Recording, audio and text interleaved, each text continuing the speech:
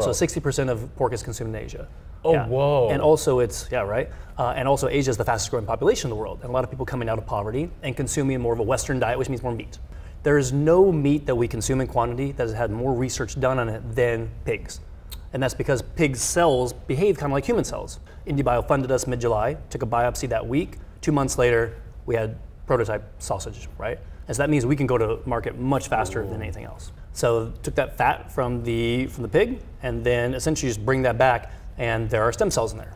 Yeah. So you take those stem cells and you start to multiply them. Cells undergo mitosis, right? So they just like divide, and these will divide again, these will divide again. So they keep doubling. So the population just just goes like this. It's exponential, right?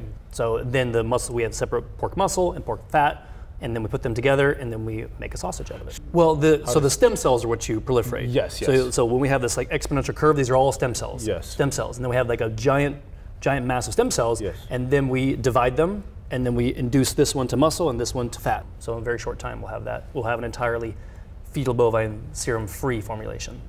To kind of put in context, the first time I tried our culture meat, it was uh, the week before the tasting, and we had bought some pork at the store uh, and ground it up Interesting. so that we could kind of compare it to what we were making, right? We wanted to make sure that we were making the same thing. And so it was blind test it for yourself. so we had this busy kitchen, right? Okay. Uh, we had the containers of, of our meat and then the, the, the cell culture meat and then also the, the stuff from the store. And the chef was cooking stuff up. And, and so he handed me something and I ate it. And I'm like, okay, that's bacon. I recognize that. So uh, can I try the stuff we made?